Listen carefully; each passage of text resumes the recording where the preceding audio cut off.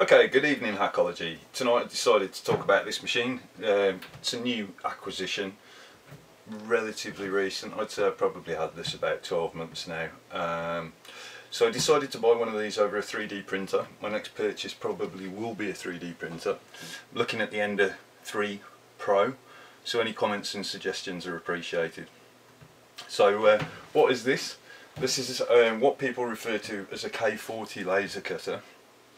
Um, it's got a proprietary board inside. They're from China. Um, they cost, at the time of purchase, this kit cost me £320. It's, um, I'm pretty sure it's a 30 watt laser cutter, even though it's called a K40. I'll check the power of the tube and put a couple of posts on the internet. So, um, it comes with a proprietary controller um, that's connected via USB to a PC. Um, there's a CO2 tube obviously, the enclosure with the stepper motors driving the, the uh, engraving head. Um, all that good stuff. Comes with an extractor fan uh, and a very very very small amount of ducting. Um, I'll talk about that a little bit later in some more detail. Um, also comes with a USB dongle which I'm not 100% sure whether um, I need to use now that I'm using K40 Whisperer for uh, burning and cutting stuff. Uh, so yeah, instructions and leads and uh, also it comes with a USB lead and the power leads that you need to get going. So, as well as the laser cutter, what else do you need on top of the laser cutter? If you, if you were to buy one of these tomorrow, what else would you need to get yourself up and running? Well, you'd obviously need a, a PC or a laptop. I haven't tested this with a Raspberry Pi, but I'm presuming the K40 Whisperer, because it's cross-platform, will work on a Raspberry Pi. So um, PC or a laptop, you're going to need a reservoir, a cooling reservoir, um, to fill with water and have the water pumped around the laser tube to keep it cool whilst you're cutting. You're going to need um, some water to go in the reservoir, you're also going to need some kind of power adapter or power source. Um, this is the most important one, you're going to need access to a window or the appropriate vent for extraction because um, I'll talk about some of that in a little while. So um, you'll also need stock, so you'll need materials to go inside the machine, uh, commonly 3mm ply or up to 6mm acrylic, leather, card and some other stuff. I'll put a list together of the stuff that you can cut and you can't cut and hopefully it will be on the screen now. Um, so, first of all, I'm going to talk about the cons of having a laser cutter. The uh, things that are absolute pain in the ass about this machine. So, uh, well, not, yes. Tube, tube life expectancy, the tube lifetime is, um, people have said you maybe get a year, a year and a half, 3,000 hours. So this machine has been run intermittently uh, for over the period of a year and it doesn't appear to have lost any power I have run the machine at lower than recommended power setting and been performing multiple passes to cut rather than trying to pump the power up and cut in one pass. Um, so the tube lifetime anyway, cleaning and servicing, um, you're going to have to get in there, you're going to have to clean the machine regularly, keep it tidy, you're going to have to make sure the mirrors and the lens are clean.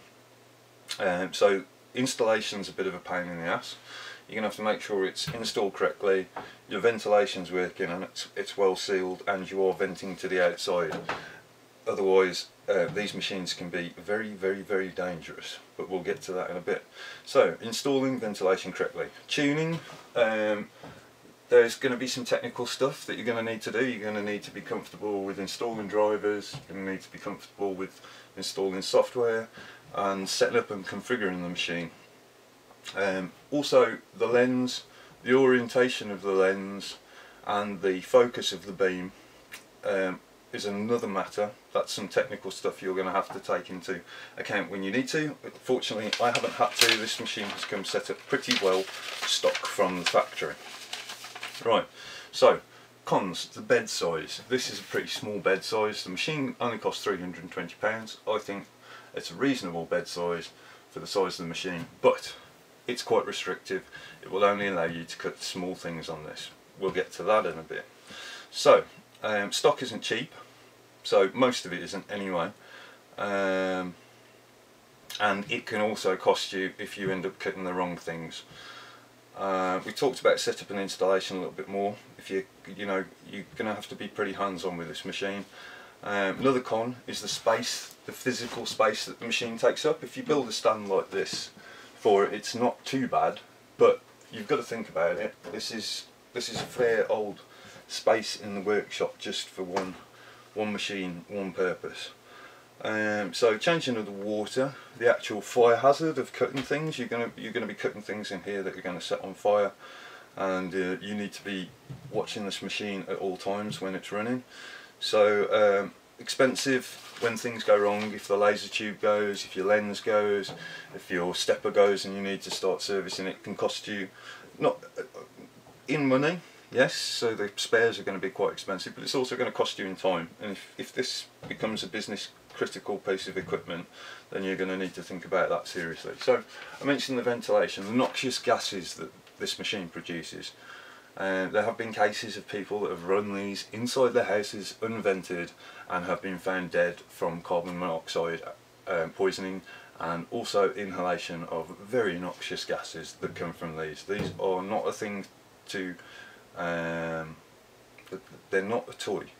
So uh, noxious gases, that's one thing that can kill you with this machine. The other thing that can kill you is the laser tube in the back is at 20,000, 20 kV 20,000 volts. And um, even though it's only run at 0.6 milliamps 20,000 volts is a lot of voltage. That will kill you as well. So um, these need to be supervised set up and installed correctly and run correctly. And also um, another thing it's a laser.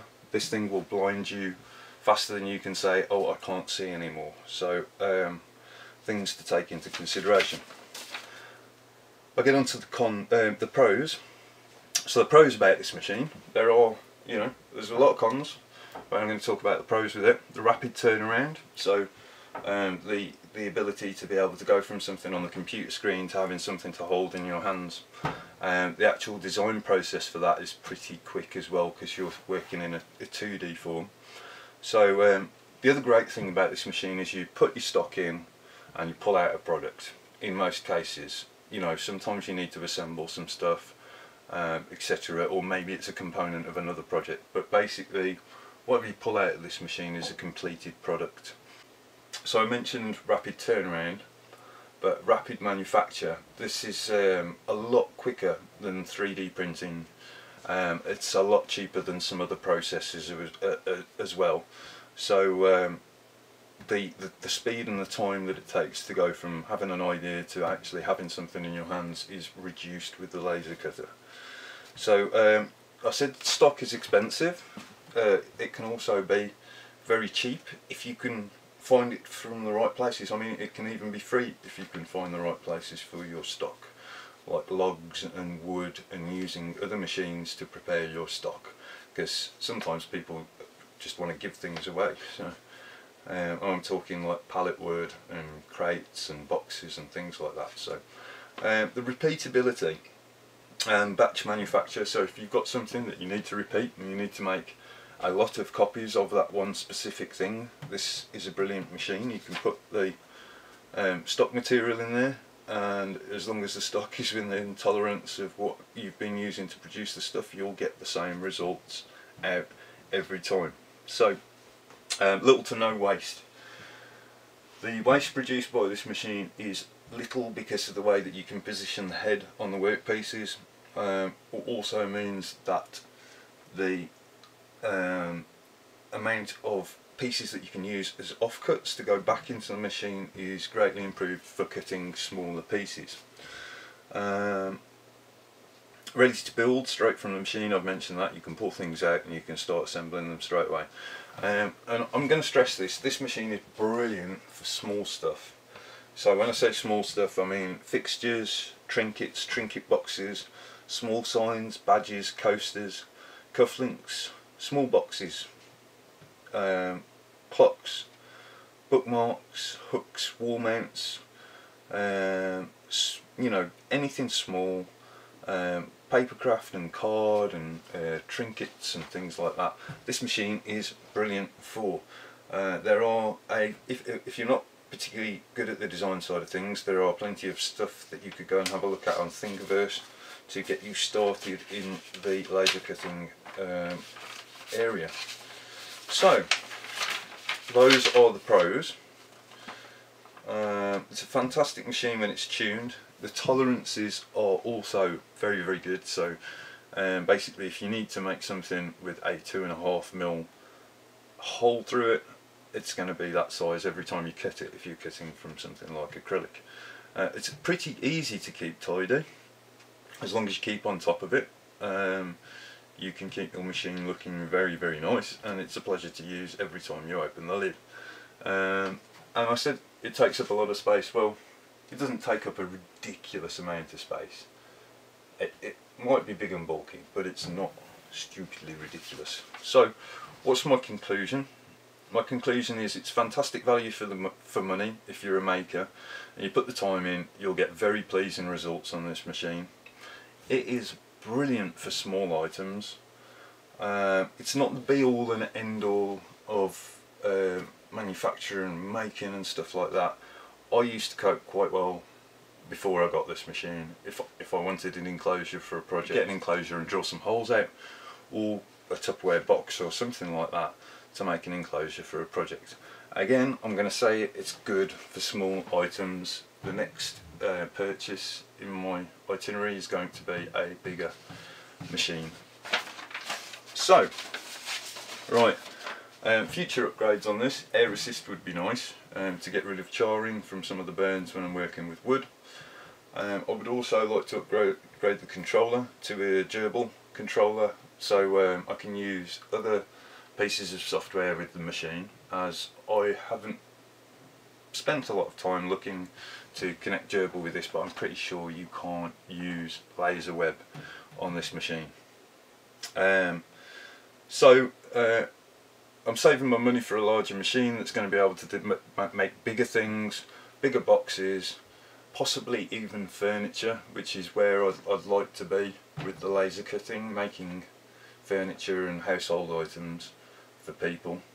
Um, and yeah, so that's my conclusion on the laser cutter. If you wondered about one, if you thought about getting one, or you wanted to know what it was you needed to get yourself going, I'll do another couple of tutorials on the whole of the design side and the actual process of going from uh, just having an idea to having it in your hands. Um, and lastly, please subscribe, drop me a comment um, if you agree with me or if you don't. Uh, contribute to the community. There will be a link to the Hive Mind down here where you'll find a lot of other creative people all working on pretty cool things.